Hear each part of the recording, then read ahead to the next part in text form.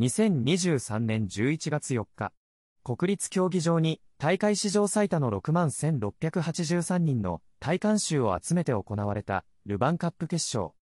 準決勝で2021年大会王者の名古屋を第1戦のフォワード鶴野。第2戦のウェリントンのゴールで2戦、合計2対0で下し、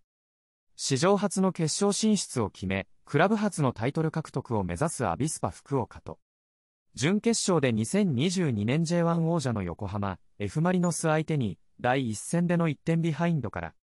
第2戦で、ディフェンダーアレクサンダー・ショルツの PK による2ゴールで逆転勝ちし、7年ぶり3回目のルヴァンカップ制覇を狙う浦和レッズの一戦は、2対1でアビスパ福岡が勝利し、クラブ初タイトルを手にしました。この試合、ピッチの中央で攻守両面において高いクオリティを発揮し、勝利に大きく貢献したのが井出口洋介選手でした。幼少時からすでにサッカーをしていた8歳上と5歳上の2人の兄の影響で、ボールを蹴り始めた井出口選手は、中学入学と同時にガンバ大阪ジュニアユースに入団。すると2011年のメニコンカップクラブユース東西対抗戦で最優秀選手を受賞するなど早くから頭角を現し、2011年末には飛び級でユースチームの練習に参加。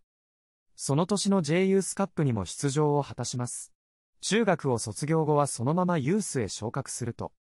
世代別代表にも選ばれ、高校2年の2013年にはトップチームに2種登録されます。井出口選手は主にボランチを得意としていますが、センターハーフ、インサイドハーフやセカンドトップなど幅広く対応できるオールランドプレーヤーです。そんな井出口選手を語る上で欠かせないのが、20歳、当時、日本代表監督だったハリル・ホジッチ氏が惚れ込んだというボールダッシュ力。攻守の重要局面となるバイタルエリアで輝くことから、バイタルエリアの必殺仕事人とも呼ばれています。では、井出口選手のボールダッシュ力は、他の選手とどのような違いがあるのでしょうか。日本でサッカー教育を受けた選手の多くが、ボールを奪われたら、全員が下がりながら、相手選手のプレーを遅らせて、時間を作り、複数選手で囲んで、ボールを奪うディレイスタイルで守ります。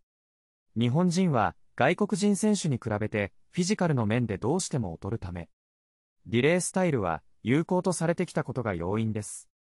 しかし、入れ口選手の場合、タフでインセンシティの高い守備能力を持つため、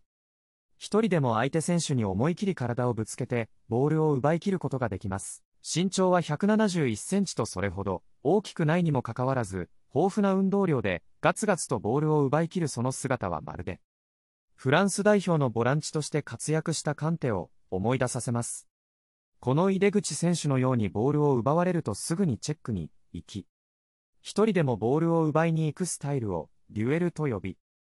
よくデュエルと発言していたハリル・ホジッチ氏は、井出口選手を若干20歳の若さにもかかわらず A 代表に大抜擢しています。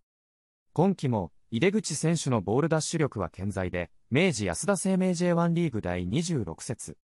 敵地、味の素スタジアムに乗り込んで迎えた FC 東京戦では、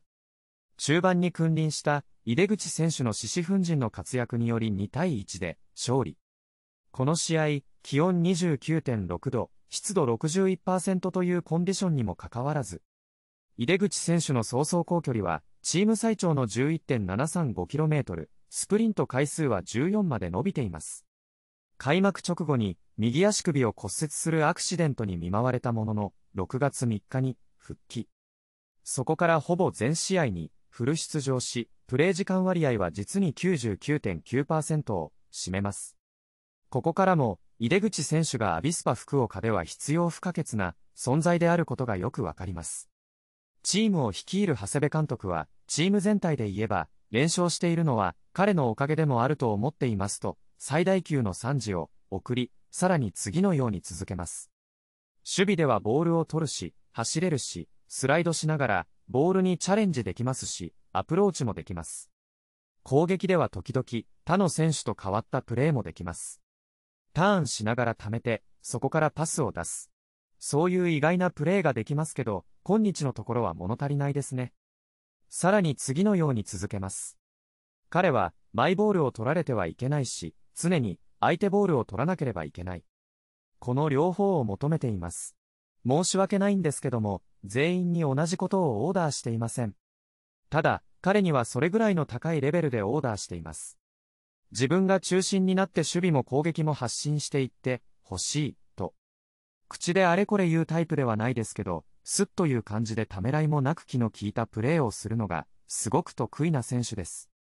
なので、そういうプレーをできるだけ多く、チームに提供してほしい。そのように言ってきたからこそ、今日のプレーに関しては少し物足りないかな、と。井出口選手に対しての期待が大きいがため、要求もその分大きいわけです。また、井出口選手は、類稀な攻撃センスも併せ持ちます。守備が上手いボランチの選手に多い欠点として、ボールタッチが、それほど上手い選手がいないことが多々あります。しかしもともとフットサルを経験している井出口選手の足元の技術は素晴らしいと言われています。そして忘れてはいけないのがミドルシュート。勝てばワールドカップ出場が決まるというアジア最終予選の大一番。2017年8月31日のオーストラリア代表との世紀の一戦、日本が1点リードして迎えた82分。埼玉スタジアムにいた誰もが衝撃を受けたミドルシュートが炸裂します。相手、陣内の左サイドでボールを受けた井出口選手は得意の足元の技術をフル稼働してオーストラリアディフェンス陣を翻弄し、カットインしながらバイタルエリアに侵入し、ペナルティエリア外から強烈な一撃をゴール右隅へ突き刺しました。強靭なフィジカルを武器にタイトなディフェンスを得意とし、1対1ではディレイに頼らずとも、ボールを奪い切り、攻撃ではミドルシュートで相手ゴールを脅かすなど、アビスパ福岡の心臓とも言える活躍を見せています。海外へ移籍したものの、出場機会に恵まれなかった入れ口選手ですが、まだ27歳と年齢的にも若く、代表復帰に期待がかかります。今後の井出口選手の活躍に注目していきましょう。